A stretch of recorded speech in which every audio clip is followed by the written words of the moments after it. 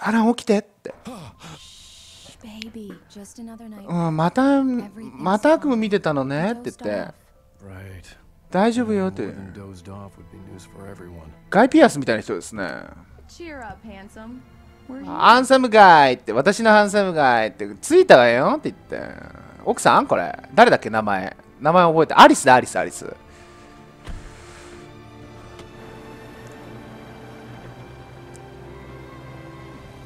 あーなんか船の上にいるみたいですね。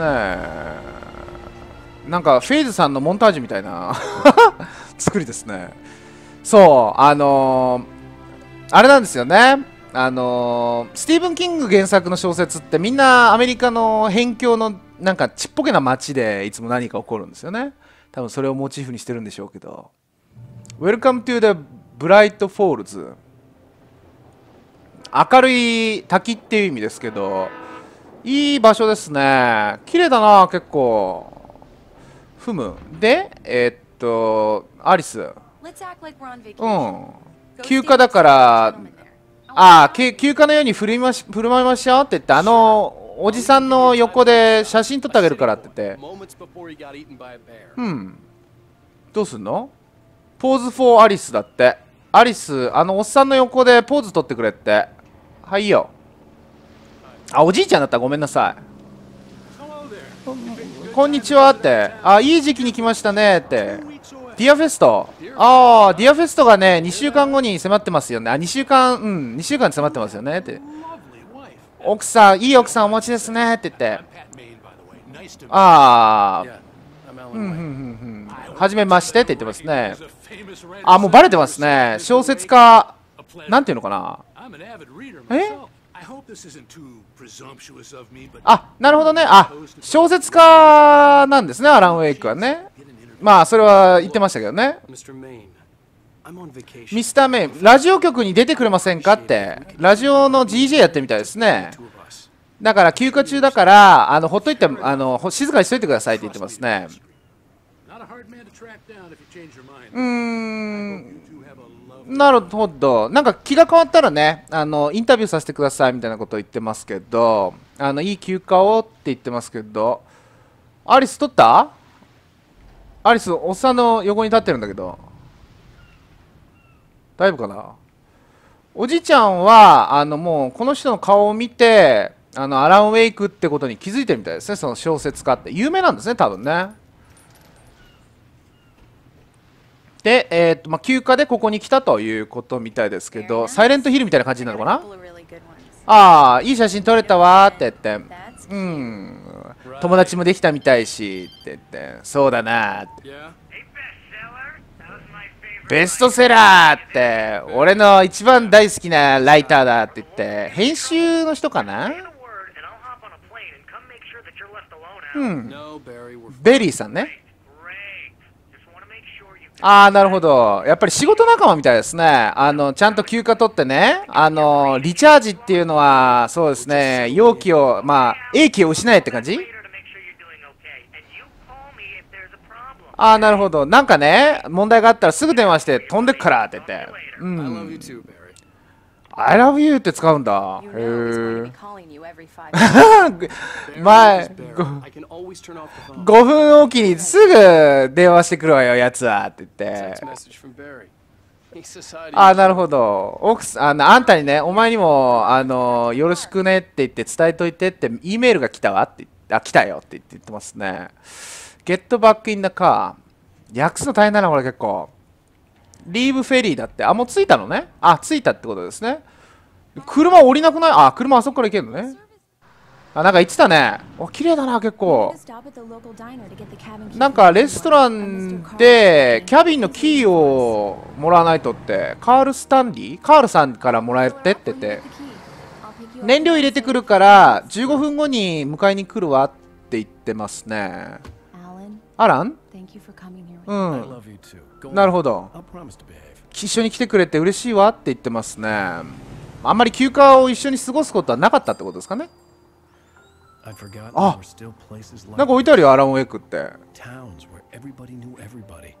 小さい町のことを言ってますね。ウェイクアラモンウェイクもうすっごい好きなんですって。みんなから言われるだろうけど私は本物なんですって言って。ローズさん。ミスター・スタッキーさん。カール・スタッキーさんね。ああ、トイレに行ったから、もうちょっと待っててって。もう信じられないのって、あなたのね、本は全部読んだのよって言って。あらおめくって。こういうの本屋さんに売っておりますよね。エグザミング。せっかくのね皮肉って言ってますね。この人は何？この人は？この人はシェリフさんかな？帽子から見ると。でなんか眼帯してる人がいるんだけど。なんか聞いてくれないか頼みようって言って。ココナッツってロックバンっていうジュークボックスの曲を流してほしいんだけど自分でやりたいけど 俺の足寝てるんだよって言って。あー結婚不良だ。マジか？ココナッツかまたかよって言って。もう嫌になっちまうなって言って。自分のことをロッカーって呼んでんだろって言って。信じられねえなって言って。こういうおっさんいますよ本当に。わかったわかったわかったわかったわかったココナッツかけてあげれば。うわ古いジュークボックスですって。こういうのはもう見なくなったかな。だいぶ最近は新しくなりましたからね.いい大好きな曲ココナッツなんだよって。黙ったかよお前って言って。ロッカーって言ってたからこの人たちもなんか音楽やってんのかな？ Use jukebox。A を押せ。そう叩かないとね詰まっちゃったりするんですよね。ちゃんとリアルに作ってありますね。これだこれって言って。うわまたかこんな曲聴いてたらもう死んじまうなとか言ってますね。そんな悪くないじゃん。なんか昔な感じだけど。と流したよ。100円入れるとね数曲選べたりするんですよね。今は日本ではそんな見かけないですけどアメリカではよくありますよジュークボックスは。えーっとカール・スタッキーを探せ。えーっとピックアップコーヒー。あここにもあるねコーヒー。なんかコーヒーが鍵なの？ちょっとカールさんはトイレに行ったって言ってたけどもう話すことなし？おばちゃん何してんのこの人このおばちゃんは？なんかなんか見てるよ。ラライトをいじってるね。どうしました？そこに行っちゃダメって言って.闇ではね怪我するわよって言って。まあ大丈夫でしょうって言ってます.死にたくないでしょってもしかしたらもっと悪いかもって言って.ああカールさんをね忠告したのにあの人聞かなかったんですって言ってるここでは待ちたくなかったって。ああスタッキーをねちょっとかぶってるかぶってる.なるほど。ここの場所から出たかったって。鍵をさせてもらってね。ヘッドエッグだから I must do my rounds. ああなるほど。なんかこの人は暗闇がこう嫌いみたいですね。ちょっとなんかここから怖い雰囲気ですけどいきなりビビらせる系はないよね。ここ一般の街なんだもんでもこの人がなんか変なのに虎なんかねその精神病みたいな感じなんじゃないかな。なんかに悪夢にうなされてるって。ノック。もしもし.スタッキーさんいらいますか？って。おっと.カールはねいないのよここには。って言って But I have the key for you. ああなんか病気でいないのって言ってキーとねあの鍵はね受け取ったからって In the cabin. I'll come by later to check how you've settled in. なるほどあの後で To ね.後でねお伺いしますからってキャビンの方に.なるほど奥さんにもお会いしたいんですってぜひともねって言ってますけど 何この喪服のおばちゃんはカールさん殺されたの？まさかコール.ドレンレイクコールドロンレイクか。あの特別な場所なんですよって言ってますけど。言っていいのもう。鍵とね生き方を渡されましたね。えいいの？なんかすごい怖いんだけど。おばちゃんはまだ心配するね.今回はラッキーだったわねってね.また同じこと言ってる。This really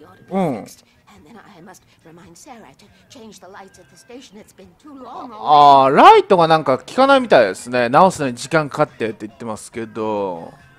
おまた？あんお前が歌うよりいいなって言ってるけど。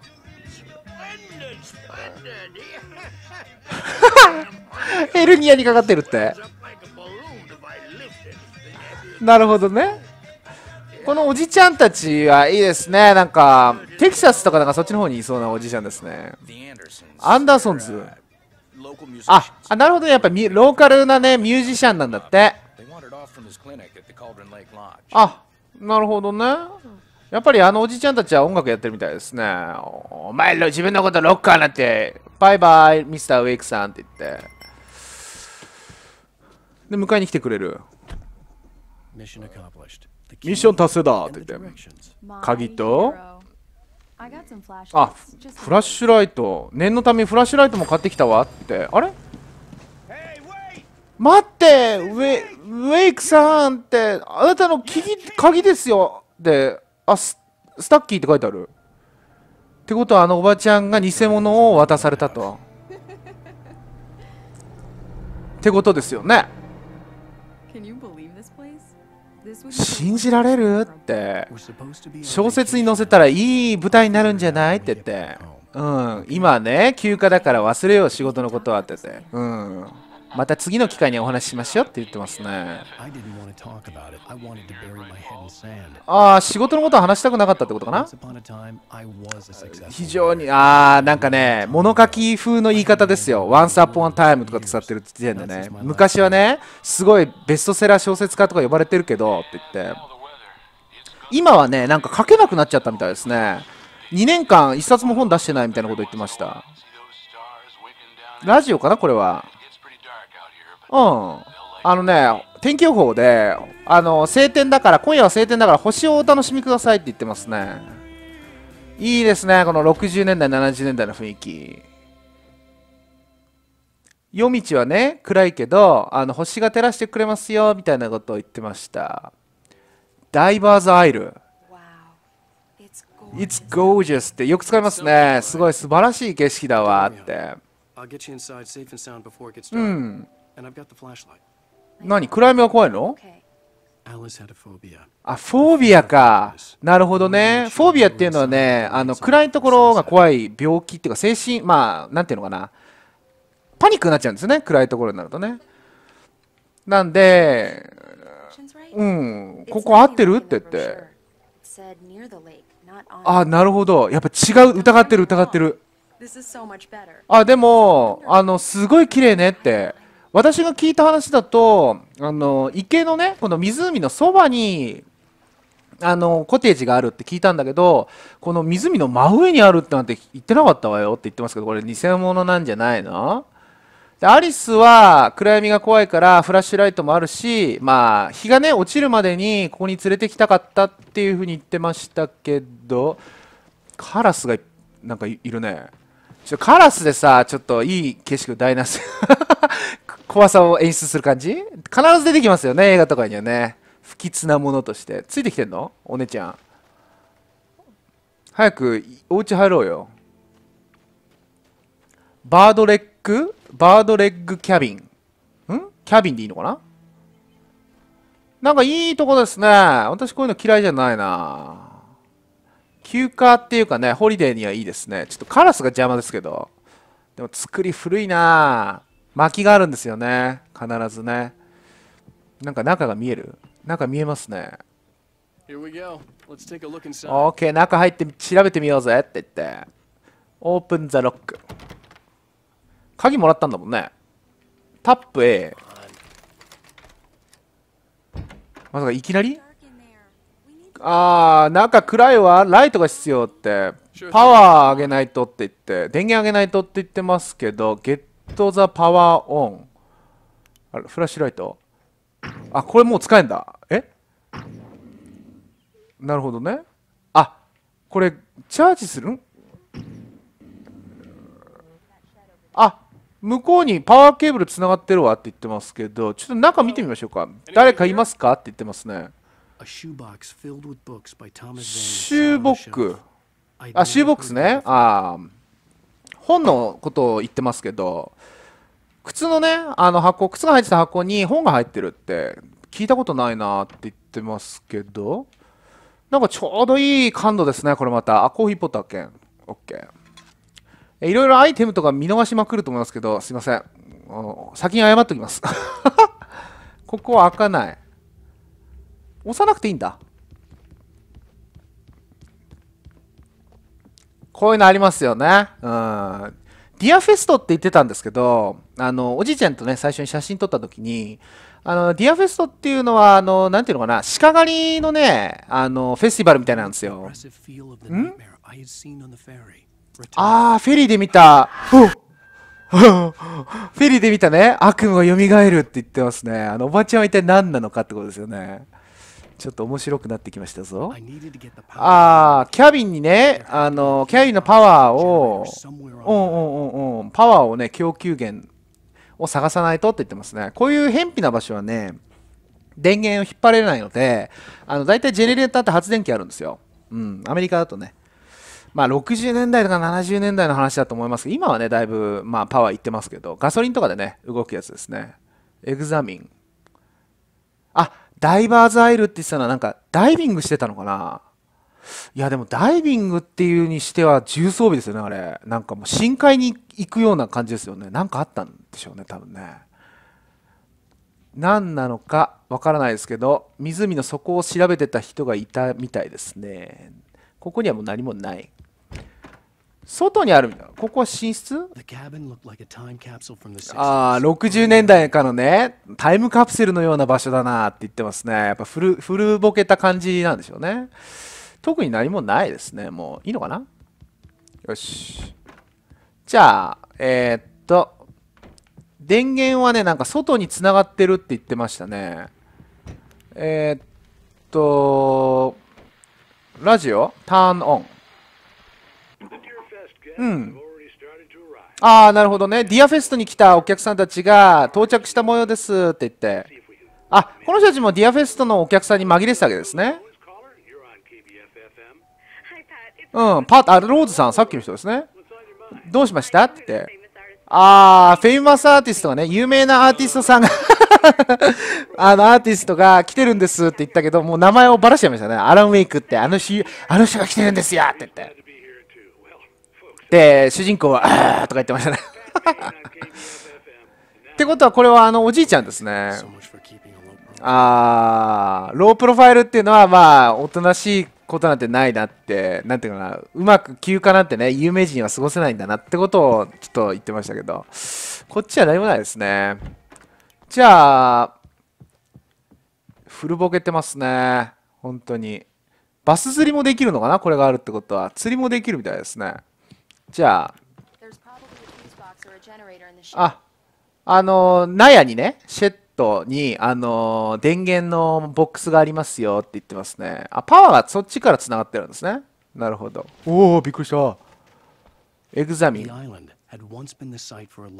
になにラブストーリー？ああ.このハートでね、言ってんのね。なるほど。この、この島はね、このキャビンがある島は、かつてラブストーリー、恋愛のね、そのあれが繰り広げられたんだろうみたいなこと言ってましたけど。